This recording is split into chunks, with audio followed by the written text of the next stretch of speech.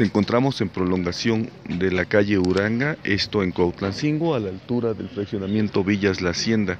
En este lugar se encuentra estacionado este Chevrolet Aveo con placas TZN 7003, el cual se presume es del servicio de Uber.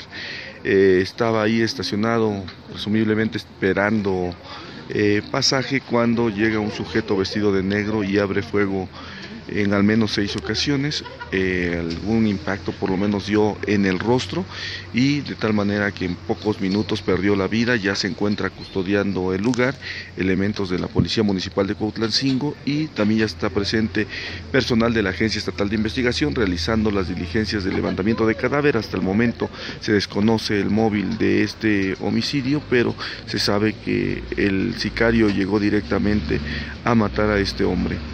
Estamos en espera de que haya algún pronunciamiento por parte de las autoridades estatales. Es el reporte.